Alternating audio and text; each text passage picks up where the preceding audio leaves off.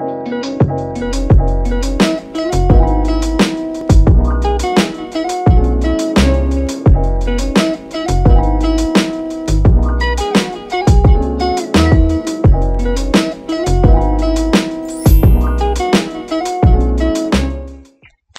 beautiful people and welcome back to my channel.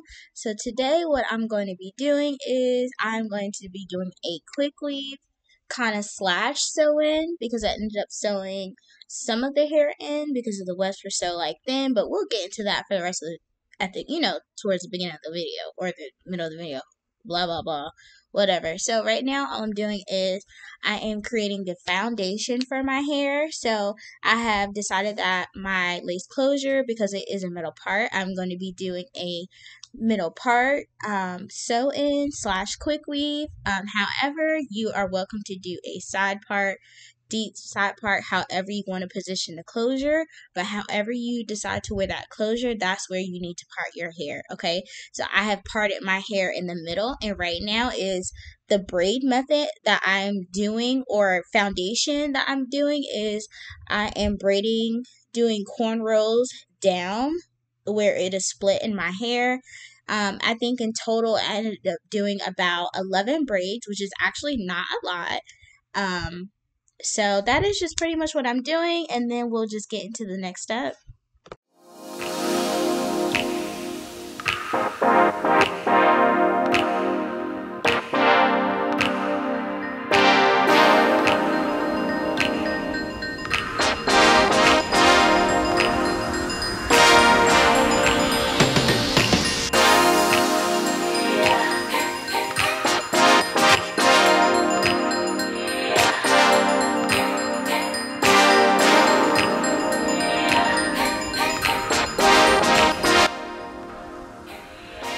You guys so I do not want to bore you as you watching my watching me braid my hair. So the next step is I am going to be doing the bald cap method because I am going to be gluing the lace closure down um, after I you know sew it. And so this is what I'm just doing. I'm going to be using my Got2b Freeze spray to do that small portion of the hair um, because this closure is like a 2 by 6 closure type so that's why I'm just doing a small portion and then you will see me sewing around the um, area of where the closure will lay because um, I will be doing adding another cap where I will be doing the bonding glue method for the tracks um, as well as sewing sewing partial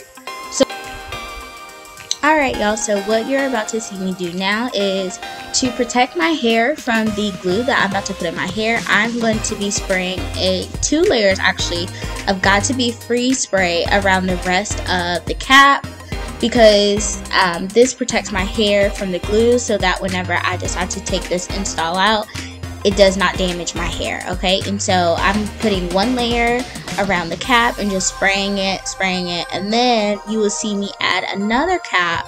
And on top of that cap I'm going to also have another layer okay? So I'm just trying to protect my hair as much as possible and it saves you the hassle of struggling to take it out whenever you decide to take the install out.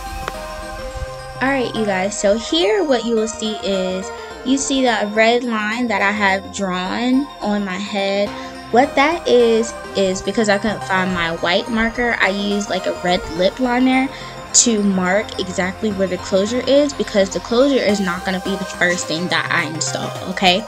And when I am installing the bundles, I do not want to cover up that part where the lace closure is supposed to be. And so this is very, very helpful when you're doing an install like this. That way you don't have to install your closure in the beginning.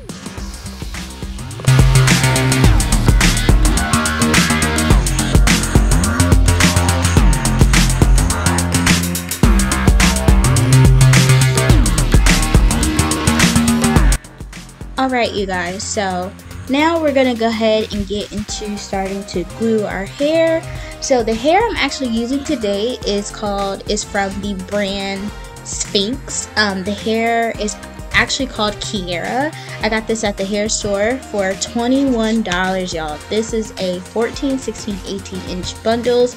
Very affordable um, option. I highly recommend it. It's human hair quality and it feels great. I love it on my head right now. So the first thing I'm going to do is I am measuring the the section of my hair that I am gluing and I'm applying the glue, okay? And then I'm applying the hair to the cap, okay? When you are applying your glue do not add a whole bunch of glue okay i could not show you guys exactly how much glue i was adding because what I don't want it to do was like lift it up and then the glue start dripping everywhere. It's automatically messy process. So that's why I was unable to do that, okay? But I'm being very tedious not to use a whole bunch of glue, okay? When you put it up there, make sure you press it into the hair. And then I always go in with my blow dryer to ensure that the glue is dry, okay? Because you do not want your tracks to be very loose. That is not what you want, okay? So that is all that I'm doing throughout this process. Once I get to a certain section, um, I actually did start sewing part of it in once I got to the middle section, just because the wefts were thin. Um, that's kind of what you get with with synthetic hair. And so it was just easier for me to finish the process in sewing some of it. But for the most part I just glued it in okay? And th- this is literally all that I do for the entire process okay? Once I get to a certain point I do go in and install the closure.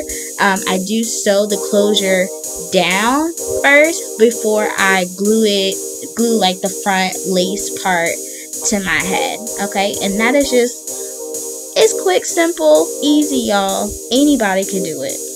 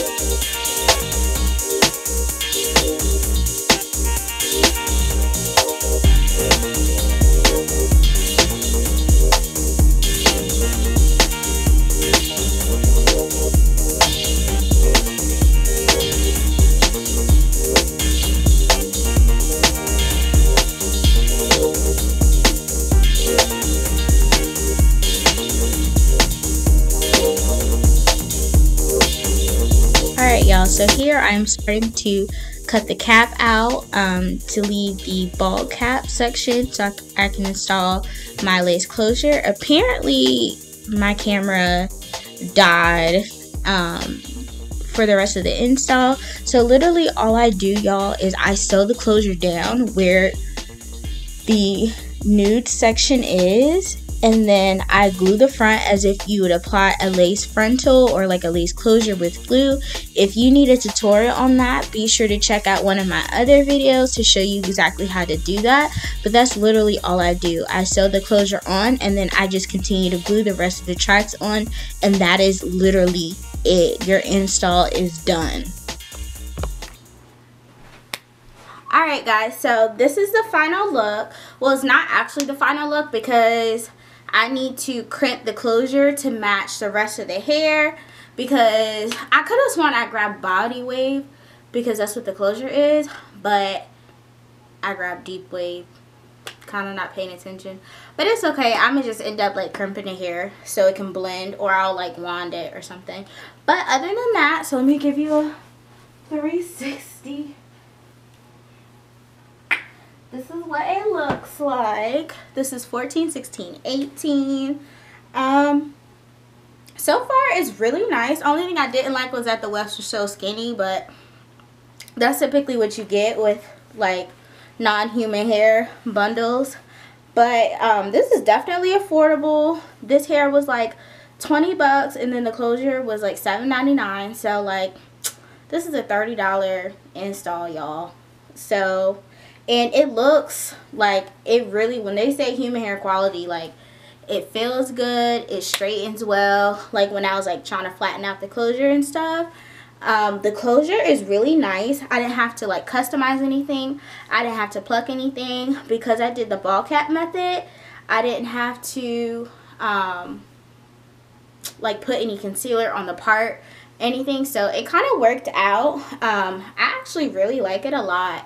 And I'm to try and keep this in for like two, two weeks because it is bonding glue and my hair. Like my hair will start itching in like a week and a half. So, but I hope you guys like this video. I hope you learned something from this, especially through my trial and errors. Um, a sister was struggling. But typically, like, it really should take you no longer than an hour to, like, install the hair. Because quick weaves are, it's a quick weave. So it really shouldn't take you that long once you get, like, your mojo. Um, but I hope you guys like this video. And I hope to see you guys in the next video. Toodaloo.